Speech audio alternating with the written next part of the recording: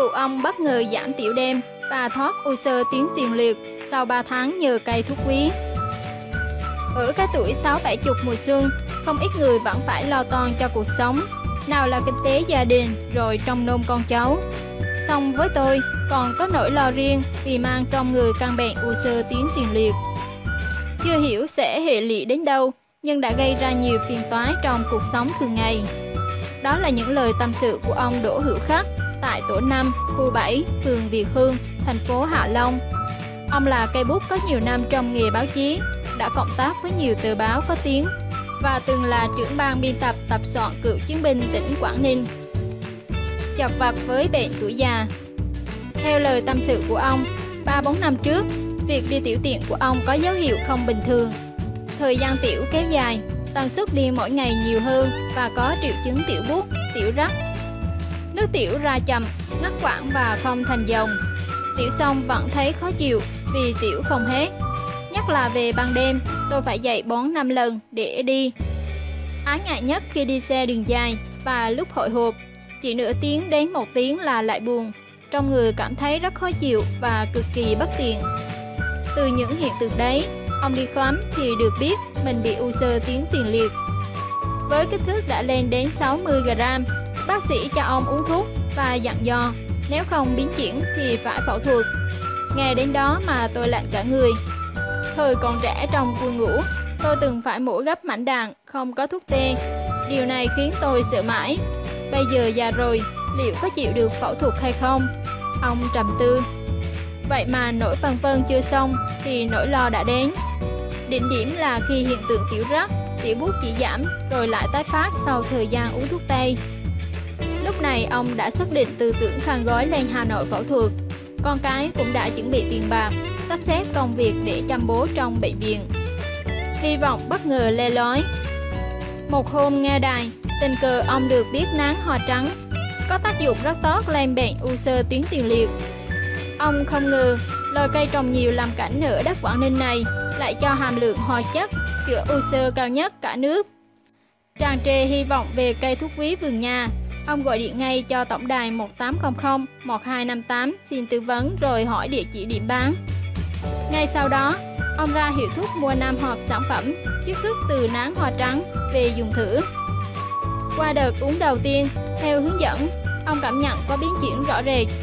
Tiểu tiện không còn bút và rác, nước tiểu đã thành dòng. Tần suất đi tiểu ngày và đêm giảm dần. Sau đó tôi lại mua tiếp để sử dụng. Ông Khắc hồ hởi chia sẻ. Đặc biệt hơn, sau 3 tháng dùng sản phẩm chiết xuất từ cây nắng đều đặn, bệnh u sơ của ông đã chuyển biến ngoài sự mong đợi. Ông tâm sự, bây giờ vì tiểu tiện của tôi đã trở lại bình thường. Tôi ăn ngon, ngủ được vì chẳng còn tiểu đêm.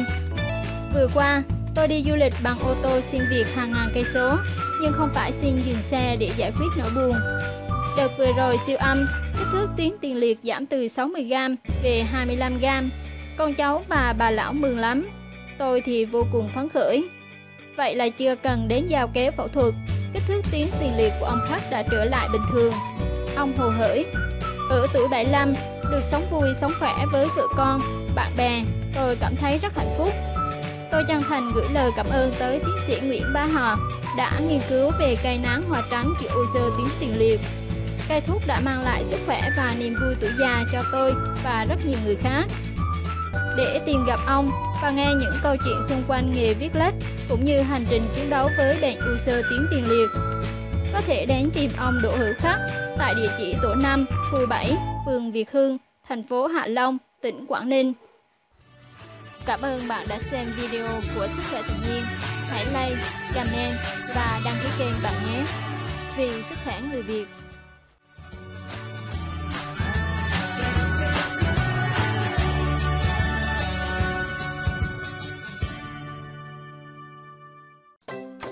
Dân trong nghề mới biết vì sao khi mua bơ phải mua thêm kèm một quả chanh. Có thể bạn chưa biết, nhưng quả bơ được xếp vào hàng cao cấp trên thế giới.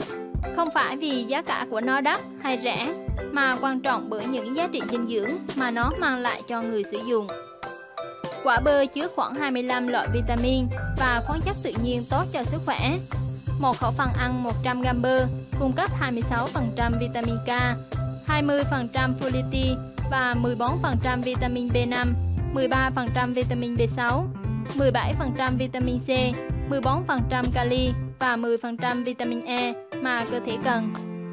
Tuy nhiên, vì thời vụ của bơ chỉ diễn ra vào những tháng mùa hè, nên sau đó sẽ rất khó để bạn có thể thưởng thức những quả bơ béo ngậy.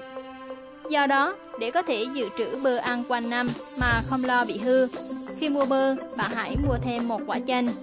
Điều này sẽ giúp bơ giữ được độ béo ngọt, tự nhiên dù bảo quản lâu ngày. Chuẩn bị bơ, chanh, túi zip hoặc hộp đựng thực phẩm. Thực hiện Bước 1 Rửa sạch bơ dưới vò nước chảy để cuốn trôi những bụi bẩn bốn bên ngoài vỏ. Nhớ là nhẹ tay thôi nhé, để tránh làm bơ bị dập. Bước 2 Sau khi để ráo nước, bạn cắt đôi quả bơ, bỏ hạt. Bước 3 với chanh, bạn hãy cắt chanh ra và nặn nước cốt chanh vào một chén nhỏ. Bước bón Rưới số nước chanh này lên phần thịt của quả bơ. Phải đảm bảo phần nước cốt chanh này được rưới đều bên bề mặt của thịt bơ. Sau đó trút số nước chanh dư vào chén và tiếp tục rưới lên số bơ còn lại. Bước 5. Cho số bơ đã rưới chanh này vào túi zip, kéo khóa lại rồi cho vào ngăn đá tủ lạnh là xong. Khi cần dùng đến, bạn chỉ việc mang bơ ra rã đông bằng cách ngâm bơ trong nước ấm khoảng 2 giờ. Trước khi dầm bơ làm sinh tố hay xay, bạn chỉ việc để bơ dưới vò nước lạnh khoảng 30 giây là được. Việc rã đông bơ bằng nước ấm thay vì nước lạnh sẽ giúp bơ giữ được độ béo thơm và không bị nhão hay chảy nước. Một điểm cộng nữa cho cách bảo quản bơ này chính là khi thưởng thức, bạn sẽ khó lòng nhận ra đâu là bơ tươi, đâu là bơ rã đông. Bên cạnh đó, nếu muốn tiết kiệm diện tích tủ lạnh, thay vì để bơ còn nguyên vỏ, bạn có thể nạo lấy bằng thịt bơ, cho vào hộp đựng thực phẩm. Sau đó dầm nhuyễn bơ và cho thêm ít nước cốt chanh vào trộn đều. Đậy nắp lại cho vào ngăn đá, đã có thể bảo quản bơ ăn quanh năm mà không hề ảnh hưởng đến hương vị và dinh dưỡng của chúng. Ngoài ra, bạn cũng có thể thay thế chanh bằng dầu ô liu, cũng để có kết quả tương tự. Cách chọn mua bơ ngon Chú ý hình dáng quả bơ Quả bơ dài thường lợi hơn quả bơ tròn vì hột bơ nhỏ, có thêm phần cơm dài phía cuốn bơ.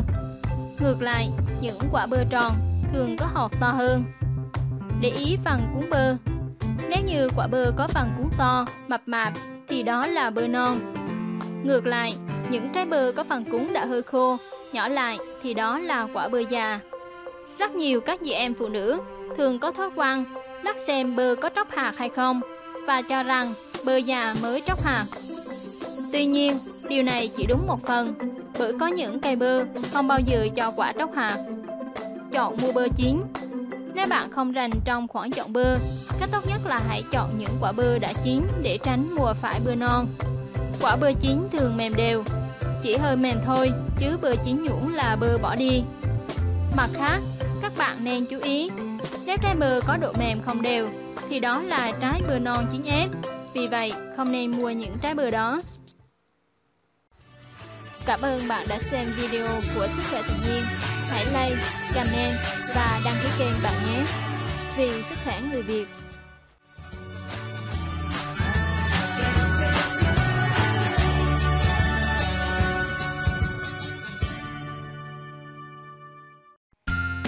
Đông đá một củ khoai tây, rồi chà lên mặt thế này.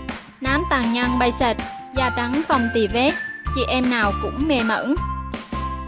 Không quá ngạc nhiên khi nhiều phụ nữ cứ qua độ tuổi 25 là làn da bắt đầu có các dấu hiệu của nám, đốm nâu. Trên da chúng ta chứa các phần tử melanin. Các hạt tố này có tác dụng bảo vệ da trước tia tử ngoại. Nhưng nếu tiếp xúc quá lâu với ánh nắng, lượng melanin buộc phải sinh ra nhiều hơn, đồng nghĩa với việc đốm nâu và nám xuất hiện ngày càng nhiều. Thông thường, sau độ tuổi 25, các đốm nâu, tàn nhang sẽ xuất hiện nhưng nó cũng có thể đến sớm hơn nếu bạn không có chế độ chăm sóc da đúng cách. Ăn uống kém khoa học cộng với môi trường sống nhiều khói bụi, ô nhiễm, không lành mạnh. Sử dụng đá khoai tây theo cách này, bạn có thể loại bỏ nhanh chóng các đốm nâu, vết thâm trên da chỉ sau 3 ngày. Một củ khoai tây, 3 thìa nước cốt chanh, hay đá sệt. Cách làm: khoai tây rửa sạch, gọt bỏ vỏ rồi thái thành từng miếng nhỏ. Sau đó bạn cho khoai tây vào máy xay sinh tố xay nhuyễn. Thêm nước cốt chanh vào xay thêm 15 giây nữa, cho hỗn hợp nhuyễn ra thành hỗn hợp đồng nhất. Từ từ đổ hỗn hợp vừa có được vào khay đá đã chuẩn bị. Sau đó, cho vào ngăn đá để đông lại trong vòng 5 đến 6 giờ. Cách sử dụng Mỗi lần bạn lấy một viên đá và chà nhẹ nhàng lên mật, massage kỹ ở những vùng da có nhiều đốm nâu, thâm mụn. Cứ chà đi chà lại, đến khi nào viên đá tan ra hết thì dừng lại. Massage bằng đá lạnh giúp loại bỏ các khắc tố melanin gây nám, giảm da từ sâu bên trong, đồng thời tăng cường dưỡng chất giúp da trắng hồng, mịn màng hơn. Tinh chất đá lạnh sẽ giúp kích thích tuần hoàn máu, xe khít lỗ chân lông hiệu quả. Mỗi ngày massage một viên, sau 3 ngày bạn sẽ thấy làn da có sự thay đổi bất ngờ. Đám nâu mờ dần rồi biến mất, trả lại làn da sáng mịn, hồng hào thấy rõ.